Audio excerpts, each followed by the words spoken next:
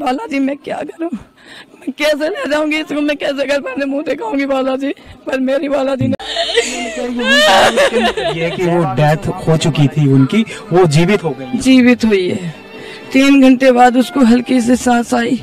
हे बालाजी, राम राम करके लड़की हमारी खड़ी दोस्तों, यह कहानी सच्ची घटना पर आधारित है। जब बागेश्वर के बाबा ने बेसहारा माँ की मरी बच्ची को ज़िंदा किया, जो कि कुछ ही महीने पहले घटी थी, जिससे आप अभी तक अनजान हो। अगर आपने बागेश्वर धाम के बारे में यह नहीं जाना तो क्या जाना? माँ और बेटी की सच्ची घटना जानने के लिए वीडियो को अंत तक ज़रूर देखें और वीडियो को लाइक करके कॉमेंट में जय बागेश्वर धाम लिखना ना भूले। दोस्तों, मध्य प्रदेश के एक छोटे से गाँव में एक माँ और बेटी को बागेश्वर धाम के बारे में पता चलता है। माँ पिछले कुछ सालों ऐसी बहुत ज़्यादा बीमार रहती थी। और कई डॉक्टरों को दिखाने के बावजूद भी माँ ठीक नहीं हो पा रही थी और कई जगह इलाज कराने के बाद परिवार वाले हार मान चुके थे। तभी उनको बागेश्वर धाम के बाबा धीरेन्द्र शास्त्री के बारे में पता चलता है। तो माँ और बेटी बाबा धीरेन्द्र शास्त्री से मिलने के लिए निकल जाती है और वे सही सलामत बागेश्वर धाम पहुँच जाते हैं। और सभी को पता है की बाबा बागेश्वर धीरेन्द्र शास्त्री के दर्शन के लिए लाखों की भीड़ लाइन में लगी होती है और वे दोनों भी लाइन में लग जाते हैं। और आपको यह भी पता होगा कि जब बाबा धीरेन्द्र शास्त्री प्रवचन सुनाते हैं तो सभी लोग आस्था में लीन हो जाते हैं और ऐसा ही कुछ माँ के साथ हुआ। माँ ने अपने हाथों से बच्ची का हाथ पकड़ा था, लेकिन कभी अचानक से बच्ची का हाथ माँ के हाथ से छूट जाता है और वे दोनों अलग अलग बिछड़ जाते हैं और इधर बच्ची ज़मीन पर गिर जाती है, जिसके ऊपर से लाखों की भीड़ बच्ची को रोंदते हुए आगे बढ़ती है। बहुत देर के बाद भी उस बच्ची के ऊपर किसी का ध्यान नहीं जाता है। तब तक बच्ची बुरी तरह से घायल और खून से लथपथ और बेहोश हो जाती है। मानो बच्ची अधमरी हो चुकी थी। तभी दो लोगों की नज़र उस बच्ची पर पड़ती है तो वह बच्ची को ऊपर उठाते हैं और यह बात उस माँ तक पहुँचाते हैं। तभी माँ बच्ची के पास आती है और देख चिल्ला चिल्ला कर रोने लगती है। देखने से ऐसा लग रहा था कि बच्ची का बचना नमुमकिन था। बच्ची की आधी जान निकल चुकी थी। तभी बागेश्वर धाम के संस्था के लोगों के द्वारा यह बात बाबा तक पहुँचाया जाता है। तो बाबा उस माँ और बेटी को मंच में बुलाते हैं और बच्ची को देखकर बाबा भी बुरी तरह ऐसी चिंतित हो उठते हैं। पंडाल के नीचे सभी लोग एक ही कामना करते। बस बच्ची ठीक हो जाए और बाबा भी हार मानने वालों में से नहीं थे। तभी बाबा धीरेन्द्र शास्त्री ने अपने आराध्य बागेश्वर बालाजी सरकार को ललकार कर कहा, हे बालाजी सरकार, आपने लाखों लोगों की ज़िंदगी सवारी है। आज मेरी सुनो और इस बच्ची को ठीक कर दो। और कुछ ही देर में बच्ची उठकर बैठ जाती है और देखते ही देखते बच्ची ठीक हो जाती है। जिसने भी यह दृश्य देखा हक्के बक्के रह गए। जिनको बालाजी पर विश्वास नहीं था, वे लोग भी वहीं पर नतमस्तक हो जाते हैं। सचमुच बागेश्वर धाम की महिमा अद्भुत है। इसके बाद भी जिसको भी दिव्य